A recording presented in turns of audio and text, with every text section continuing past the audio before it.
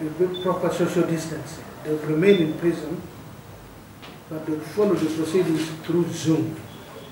If every time we create a district, there must be a, a, a recruitment of a magistrate in charge of that district. Or if there are three grade one courts in that district, ensure that there are three magistrates posted there. And then for, for, for the High Court, we had a minimum of 150 judges,